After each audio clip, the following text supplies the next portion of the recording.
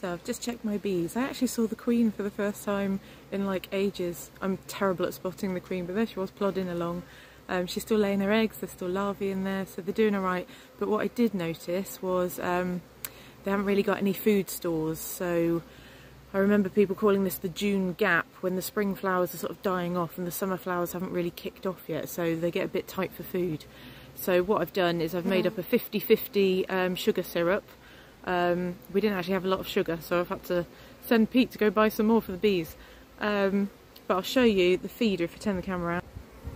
So I've put the feeder on the top here, um, and I fill up this reservoir with sugar syrup, and then the bees climb up the hole in the middle, and this cup allows them to climb down and collect the syrup without actually drowning. It's got little ridges so they can climb down and climb back in again.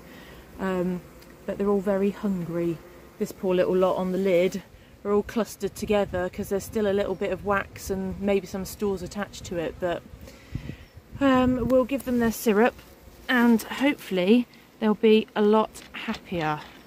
So there's that. And I'll pour the syrup in there for them. And that'll allow them to have some more energy to make wax because they haven't drawn out all of the uh, frames yet so uh, I think the queen's struggling for places to lay eggs. So with a bit of syrup, give them a bit of energy, they'll be able to make some more wax.